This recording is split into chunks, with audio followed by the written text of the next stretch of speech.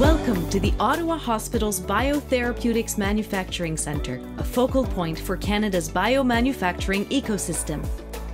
Here at the BMC, we've been using materials like cells, genes, and viruses to manufacture living drugs known as biotherapeutics for more than 15 years. With more than 40 highly skilled staff, we offer end to end manufacturing solutions to academic and industrial partners around the world, all done according to the highest standards of good manufacturing practices. To date, we've made more than 15 different kinds of groundbreaking biotherapeutics, spanning everything from vaccines to cancer fighting viruses to gene and stem cell therapies and CAR T cells. These products have been used in clinical trials in 11 countries in North America, Europe, and Asia. This makes BMC the most experienced biomanufacturing facility of its kind in Canada.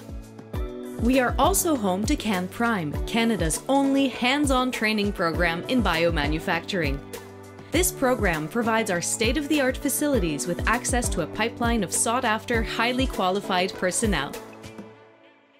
Our people are the driving force behind our success. The people we train and the people who work with us to benefit the people who need us most, our patients. As an integral part of Canada's growing biomanufacturing ecosystem, we are eager to continue collaborating and partnering to anchor this important sector and support Made in Canada solutions to global health challenges.